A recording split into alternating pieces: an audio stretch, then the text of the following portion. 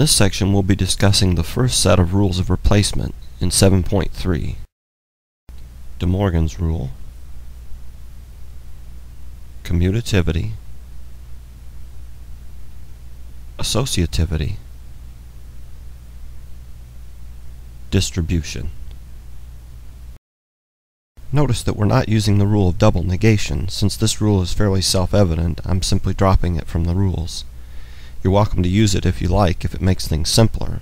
But in 6.6, as we've already seen, we didn't need the rule of double negation to perform some basic logical operations, so I'm going to continue with the idea that we don't need it now.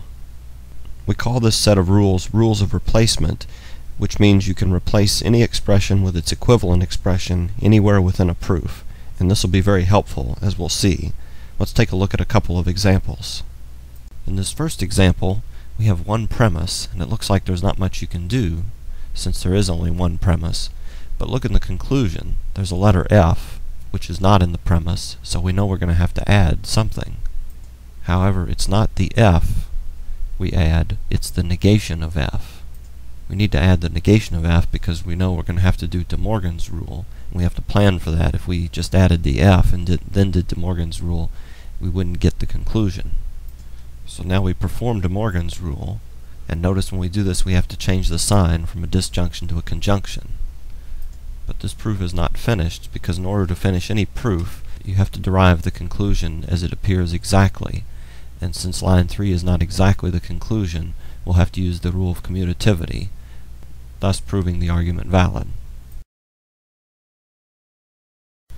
On the surface, our next example looks more difficult. It almost looks like there's nothing you can do at the start. This is kind of a common experience you'll have once you get into the rules of replacement. But a closer look reveals that there are actually quite a lot of clues in this proof as to what we should be doing. For instance, number one is a proposition that can be changed by De Morgan's rule. In fact, now that we have De Morgan's rule, you're going to want to be cued into the fact that propositions like this can be changed. Another clue appears if you look at lines 2 and 3 which appear to be the premises of a hypothetical syllogism. So we can actually do two things right from the start on this proof. Let's do De Morgan's rule first. We could have done the hypothetical syllogism first. It really doesn't matter. Turns out we're going to need both of them. Notice another advantage of doing the De Morgan's rule on line 1 is that you take a disjunction and turn it into a conjunction.